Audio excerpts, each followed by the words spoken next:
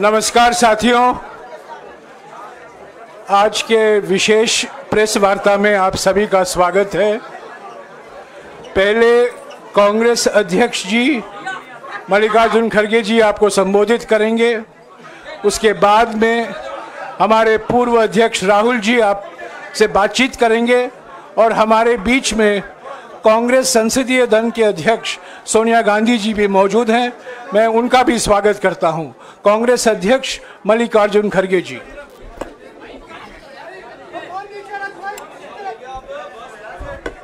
क्यों इसको नहीं डाला शायद।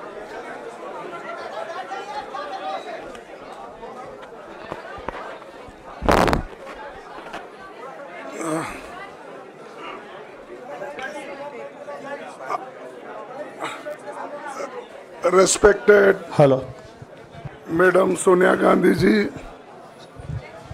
Rahul Gandhi ji Priyanka Gandhi ji और इस मंच पे बैठे हुए हमारे पार्टी के सभी नेतागण आज जो देश में चुनाव के रिज़ल्ट आए हैं, ये मैं तो पहले कहूँगा, ये जो रिज़ल्ट है, जनता की रिज़ल्ट है। और ये जनता की जीत है, और लोकतंत्र की जीत है। हम पहले से यही कह रहे थे कि ये लड़ाई हमारी मोदी वर्सेस जनता है, लोग हैं। तो अठारहवीं लोकसभा के चुनाव में हम विनम्रता से जनमन, विनम्रता से जनमत को स्वीकार करते हैं। इस बार जनता ने किसी एक दल को पूर्ण बहुमत नहीं दिया, खासकर सत्ताधारी दल। भाजपा ने एक व्यक्ति एक चेहरे के नाम पर वोट मांगा। अब ये स्पष्ट हो गया है कि ये मैंडेट मोदी जी के खिलाफ गया है। ये उनकी राजनीतिक और नैतिक हार है, जो व्यक्ति बार बार अपने नाम से ही हर जगह वोट मांगते थे, उनकी ये बहुत बड़ी हार है। और नैतिक दृष्टि से ये तो उनको बहुत बड़ा नुकसान हुआ है। आप जानते हैं कि कांग्रेस पार्टी और हमारे इंडिया गठबंधन से बहुत प्रतिकूल माहौल में चुनाव लड़ा। सरकारी मशीनरी ने कदम कदम पर अवरोध डाला। बैंक खाते सीज करने से लेकर तमाम नेताओं के खिलाफ अभियान चलाया। फिर भी शुरू से आखिर तक कांग्रेस पार्टी का कैंपेन सकारात्मक था, पॉजिटिव था। हमने महँगाई, बेरोजगारी, किसानों और मजदूरों की बदहाली और संविधान संस्थाओं का दुरुपयोग जैसे विषयों को केंद्रीय मुद्दा बनाकर हम जनता के सामने गए थे। इन मुद्दों पर बड़ी संख्या में लोग हमसे जुड़े, हमारा समर्थन किया। प्रधानमंत्री ने जिस तरह का कैंपेन किया, वो इतिहास में लंबे समय तक याद रखा जाएगा। कांग्रेस के घोषणा पत्र के बारे में मोदी जी ने जो झूठ फैलाया, जनता ने उसे समझ लिया। मैं इस मौके पर कहना चाहूँगा कि श्री राहुल गांधी जी की दोनों यात्राएँ, भारत जोड़ो यात्रा और भारत जोड़ो न्याय यात्रा के दौरान लाखों करोड़ों लोगों को मिलना, लोगों की समस्याओं को सुनना और आगे चलकर उन समस्याओं का हल ढूंढना हमारे कैंपेन का आधार बना। हमने इसी को पाँच न्याय और 25 गारंटी का नाम दिया और इसी के आधार पर हमने गारंटी कार्ड बनाया। हमारे कार्यकर्ता उसे लेकर घर घर पहुँचे और लोगों को संपर्क करें। इसके अलावा जो एक महत्वपूर्ण बात है, वो भाजपा नेतृत्व की अहंकार की वजह से हुई। उन्होंने धीरे धीरे सारे संविधानिक संस्थाओं के ऊपर गैर कानूनी तरीके से कब्जा करने की कोशिश की, फिर इनका उपयोग विरोधी दल के खिलाफ करने लगे, जो दब गया, उसे दबा के अपने तरफ़ लिया। जो नहीं दबे, उसकी पार्टी को तोड़ दिया, नहीं तो फिर जेल में डाल दिया। लोगों को ये विश्वास हो गया था कि मोदी जी को एक मौका और मिला तो अगला हम, अगला हमला संविधान पर सीधा होगा और लोकतंत्र पर होगा। इसीलिए लोगों को इसके प्रमाण नए संसद सत्र के साथ ही दिखेंगे। खुशी इस बात की है कि भाजपा इस षड्यंत्र में अब सफल नहीं हो पाएगी। मैं इस अवसर पर सीपीपी चेयरपर्सन श्रीमती सोनिया गांधी जी, हमारे लोकप्रिय नेता राहुल गांधी जी, प्रियंका गांधी जी का विशेष मैं धन्यवाद करना चाहता हूँ। और इन्होंने दिन रात बराबरी से पूरे देश में कैंपेन किया और हमें एक मज़बूत स्थिति में पहुँचाने के लिए भारी मदद इन्होंने की। और मैं ये कहूँगा कि इनके वजह से हमको बहुत बड़ा प्रोत्साहन देश में मिला और आज ये स्थिति जो बनी है, उनके वजह से बनी और हमारे करोड़ों कार्यकर्ता जो है देश में, उन्होंने भी हमारा साथ दिया इसीलिए मैं बहुत बहुत उनको धन्यवाद देता हूँ।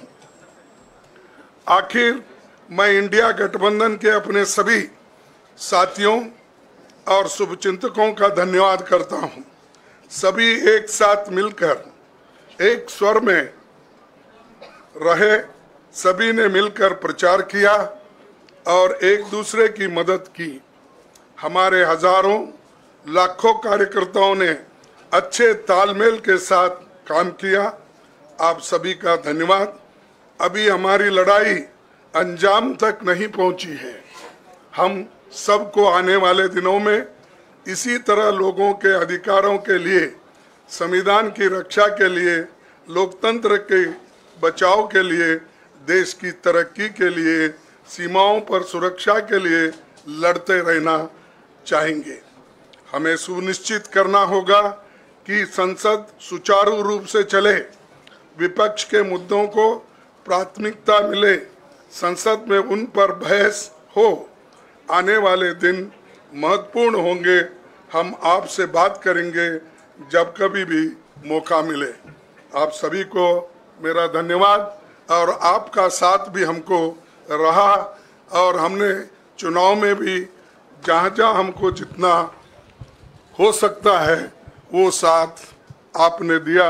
इसलिए आप सभी को भी मैं धन्यवाद करता हूँ। और सभी को नमस्कार। शुक्रिया खरगे जी। मैं राहुल जी से गुजारिश करूँगा, वो आपको संबोधित करें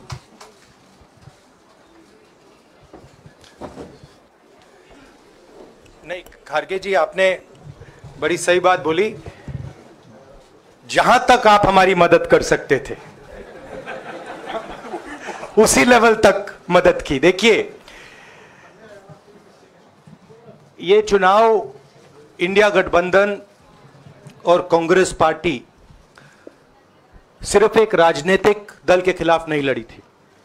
ये चुनाव हम, बीजेपी, एक राजनीतिक दल हिंदुस्तान के इंस्टीट्यूशंस हिंदुस्तान का जो पूरा गवर्नेंस का स्ट्रक्चर है इंटेलिजेंस एजेंसीज सीबीआई ईडी ये सब, आधी जुडिशरी इन सब के खिलाफ हम लड़े थे। क्योंकि इन सब संस्थाओं को, इन सब इंस्टीट्यूशंस को नरेंद्र मोदी जी ने और अमित शाह जी ने कैप्चर करा धमकाया डराया।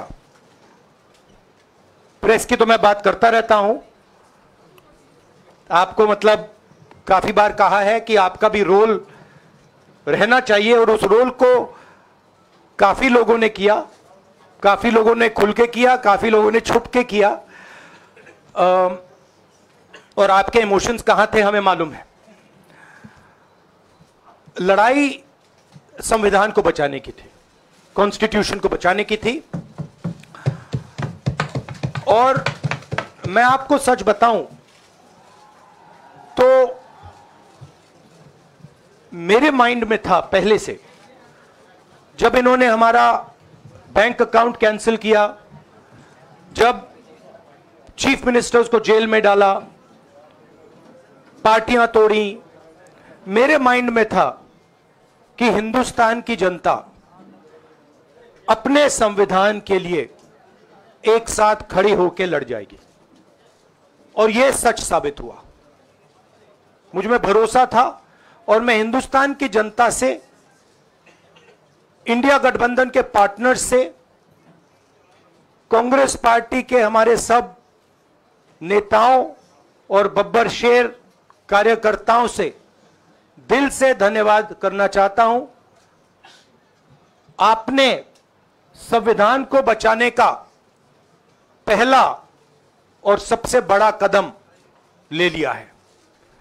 कांग्रेस पार्टी कांग्रेस पार्टी ने इस चुनाव में,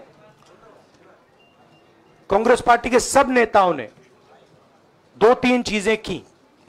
सबसे पहले हमने इंडिया गठबंधन के पार्टनर्स की रिस्पेक्ट की, उनकी जो विशेष थी उनको हमने साथ लिया और आपने देखा होगा कि जहाँ भी गठबंधन लड़ा, हम एक होके लड़े। दूसरी बात, कांग्रेस पार्टी ने क्लैरिटी से हिंदुस्तान को एक नया विजन दे दिया है। Pro poor vision, pro production vision, Hindustan को इंडिया गठबंधन ने साफ़ दे दिया है। ये जो हमारा परफॉर्मेंस परफॉर्मेंस हुआ है, इंडिया गठबंधन का परफॉर्मेंस हुआ है, इसके पीछे कॉन्स्टिट्यूशन जो रिजर्वेशन पर बीजेपी ने आक्रमण किया, गरीबी, अदानी जी के आपने स्टॉक्स तो देखे होंगे, देखे? देखे हैं वो स्टॉक्स उनके? तो बड़ी इंटरेस्टिंग बात है, जनता जनता अदानी जी को मोदी जी से डायरेक्टली कोरिलेट कर रही है।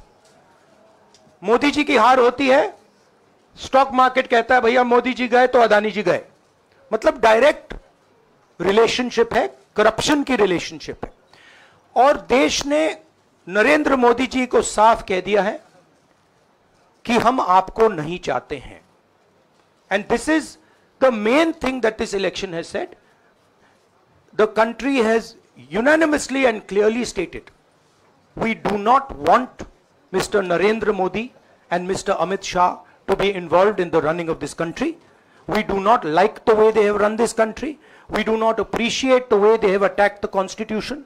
We do not appreciate the way they have run this country for the last 10 years. So that is a huge message to Mr. Narendra Modi. I'd like to thank everybody who has participated in this election. I am extremely proud of the people of India. I'm extremely proud of the people who have resisted this onslaught on the constitution. और अंत में मैं आपको कह दूँ कि इसको बचाने का काम हिंदुस्तान के सबसे गरीब लोगों ने किया है। सबसे गरीब लोगों ने किया है, मजदूरों ने किया है, किसानों ने किया है, दलितों ने किया है, आदिवासियों ने किया है, पिछड़ों ने किया है। इन लोगों ने इस कॉन्स्टिट्यूशन को बचाया है। इस कॉन्स्टिट्यूशन ये कॉन्स्टिट्यूशन देश की देश की आवाज़ है। बहुत सारे लोग ने इसको नहीं बचाया। चुप रह गए थे। मगर हिंदुस्तान के सबसे गरीब लोग, सबसे कमज़ोर लोग खड़े हो गए और उन्होंने इस कॉन्स्टिट्यूशन को बचाया। मैं उनका धन्यवाद करना चाहता हूँ, उनके, उनसे कहना चाहता हूँ कि कांग्रेस पार्टी आपके साथ खड़ी है। जो हमने आपको वायदे किए थे, हम वो वायदे आपके लिए पूरे करेंगे। जाति जनगणना, महालक्ष्मी, ये हमारे वायदे हैं। धन्यवाद। शुक्रिया राहुल जी। अभी तीन चार सवाल सिर्फ़ हम लेंगे। एक मिनट एक मिनट प्लीज़ एक मिनट। शांत हो जाइए प्लीज़ शांत हो जाइए प्लीज़ शांत हो जाइए। एक मिनट, शांत हो जाइए।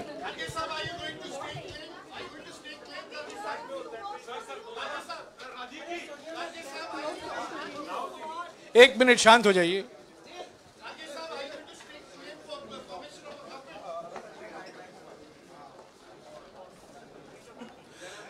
एक मिनट खरगे जी और राहुल जी आपका चार पाँच सवाल लेंगे।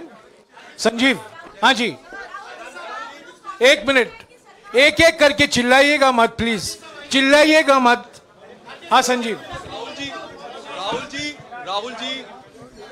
Rahul ji, although the NDA has emerged as, you know, they're getting the majority, but some of its partners have been your partners in the past, including uh, the TDP and the JDU. So have you decided to sit in the opposition or there are chances of government formation by the, by the India government? We, as we have said earlier, we're going to have a meeting with our partners, uh, the India Alliance partners. I believe that meeting is tomorrow, and these questions will be raised there, and they will be answered there.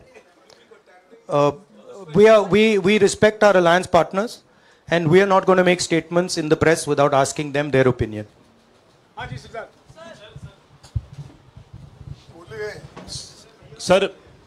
आप ये कह रहे हैं कि ये हिंदुस्तान के गरीब की जीत है संविधान बचाने की जीत है तो अगर आप लोग विपक्ष में बैठते हैं और सरकार बनाने की पहल नहीं करते हैं क्योंकि नंबर एनडीए और इंडिया अलायंस में कुछ ज़्यादा नहीं है और अगर पहल नहीं करते हैं तो कैसे उनको आप आ, जो है आगे उनका हक दिलाने के लिए आगे आ पाएँगे? वो वो ही वो ही सवाल आप मतलब दूसरे तरीके से पूछ रहे हो। अ, कल डिसाइड होगा। इंडिया गठबंधन की मीटिंग है। अ, कल हमारा अलायंस डिसाइड करेगा। बड़ी फाइन लाइन है। तो जो इंडिया गठबंधन डिसाइड करेगा, उस पर हम एक्शन लेंगे।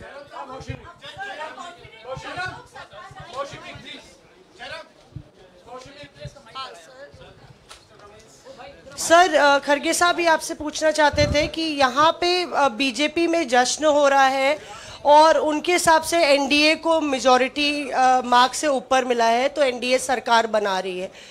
तो यहाँ पे अ, क्या आपको लगता है कि आपने कहा नैतिक आधार पे प्रधानमंत्री नरेंद्र मोदी को नहीं बने रहना चाहिए। क्या आपको लगता है कि बीजेपी में भी खेमेबंदी होगी इसको लेके? और अ, क्या खुद नरेंद्र मोदी को ये फैसला लेना चाहिए? देखिए अभी राहुल गांधी जी ने आपके सामने स्पष्ट किया जब तक हम अपने अलायंस पार्टनर से बात नहीं करेंगे और जो नए पार्टनर हमको जुड़ने वाले हैं, उनसे भी किस तरीके से हम बात करके अपने को मेजॉरिटी बना सकते हैं, वो देखेंगे। सारे स्ट्रैटेजीज अगर यही मैं बोलूँगा, फिर मोदी जी होशियार हो जाएँगे, इसलिए हाँ। जयराम जी जयराम जी, जयराम जयराम जी जय राहुल जी, खरगे साहब ने कहा कि हम जनादेश को स्वीकार करते हैं। जनादेश इंडिया गठबंधन के लिए क्या है? विपक्ष में बैठने के लिए या सरकार बनाने की कोशिश करने के लिए? और आप दोनों सीटों से जीते हैं, बधाई। आप कौन सी सीट रखने वाले नहीं, सब, दोनों दोनों सीटों से जीता हूँ और रायबरेली और वायनाड के जो वोटर्स हैं, उनका दिल से धन्यवाद करना चाहता हूँ। अब डिसाइड करना है कौन सी सीट पे अ, मैं रहूँगा थोड़ा पूछूँगा और फिर डिसाइड करूँगा। दोनों सीटों में तो नहीं रह सकता हूँ बट अभी डिसाइड नहीं किया है।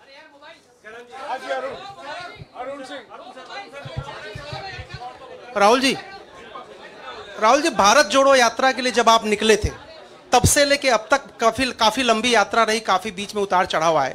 अब सौ का आंकड़ा आपने छुआ है। 2009 में जब इसी तरह का मैंडेट आया था तो पार्टी के अंदर दो राय थी। एक, हम विपक्ष में रहें, पार्टी मज़बूत करें या सरकार के साथ जाएँ? आप सरकार के साथ 2009 में? 2009 में हाँ। नहीं 2009 में तो क्या बात नहीं नहीं 2009 में दोबारा जब बहुमत मिला था तब एक राय थी कि आप विपक्ष की पॉलिटिक्स करके पार्टी को मज़बूत करें। ऐसी कोई राय नहीं थी नहीं, आपकी अब रॉन्ग अब- इन्फॉर्मेशन अब मैं पूछ रहा हूँ अब आपसे पूछ रहा हूँ। दो, दो दो चीज़ है दो चीज़ है दो चीज़ है। नहीं दो चीज़ है दो चीज़ है हाँ। दो चीज़ है। ये जो मैंडेट मिला है आप अपोजिशन में रह के आप और पार्टी मज़बूत करना चाहते हैं या सरकार बनाना चाहते हैं? आप चाहते क्या हैं?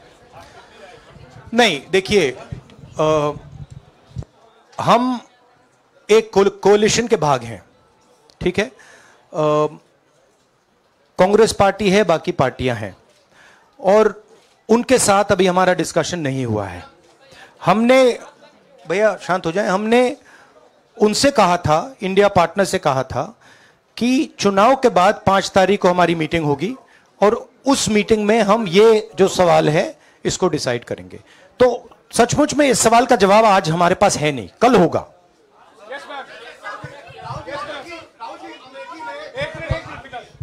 राहुल जी अमेठी में आपके लिए कहा गया कि राहुल गांधी ने अपने पीए को चुनाव लड़ा दिया। अब उन्हीं किशोरीलाल शर्मा नहीं, नहीं, नहीं, नहीं, नहीं, देखिए, ये- बीजेपी ने कहा बीजेपी ने कहा था नहीं देखिए बीजेपी बीजेपी लोगों को रिस्पेक्ट नहीं करती है। और आज उन्हीं किशोरीलाल ने सुनिए, हरा दिया। तमीज से बात नहीं करती है।